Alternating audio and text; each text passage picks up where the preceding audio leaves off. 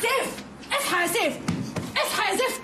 فين شرباتي؟ إزاي ما الاقيش شراب شرباتي؟ اصحى اخلقي شراب شرباتي! حالا يا زفت! يا شرابات مين يا بنت الكلب يا جزمة؟ اللي مصحياني عشان أغسلهم. أنا اسفه يا سيف والله العظيم أنت اللي خليتني أعمل مش كده. الخدام اللي جابته لك أبوك أنت فاهمة؟ بقيت راجل فاهمة؟ فاهمة. بس أنت اللي نسيت حاجة. نسيت إن العصمة في إيدي. أنت طالق. طالق طالق شفناش أي حد العصمة في الست؟ ما ينفعش اطلاقا. اللي يرضى العصمة في الست ده مش راجل.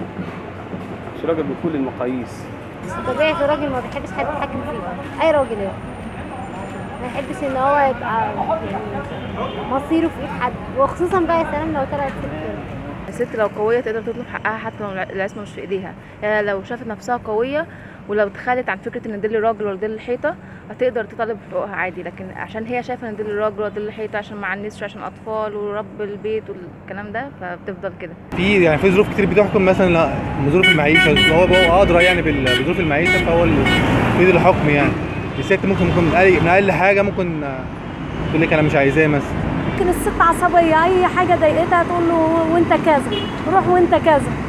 لكن هو بيبقى أكثر هدوءا منها عقلانية شوية بس. بالنسبة للأحداث اللي بتحصل دلوقتي والحالات الطلاق مرتفعة آه خلاص تبقى في ايد الست هي تتحكم بقى في أحاسيسها تتحكم في الموضوع. لأن دلوقتي حالات الطلاق وحشة أوي. أي غلطة صغيرة يلا يلا مش ممكن. أنا سألت الشيخ في الموضوع. قال هو كان مستحب إنها تبقى في الراجل لكن مش حرام إنها تبقى في إيد الست لما يبقى في عدل مطلق في المجتمع والرجال فهموا معنى الارتباط فهما سليما فستجد الرجل رحمة على امرأته والمرأة رحمة على زوجها. بدليل ربنا قال إيه؟ في آيات الزواج جعل بينكم مودة وإيه؟ ورحمة. هو هيبقى مديها حريتها ما دام هو بيحبها واتجوزه على حب يبقى خلاص.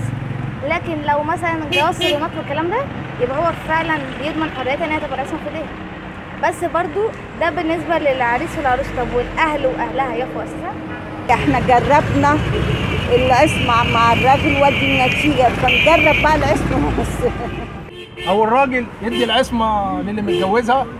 شرط واحد. لما يكون متجوز ابن عمه مثلا. هقول لك إيه يعني.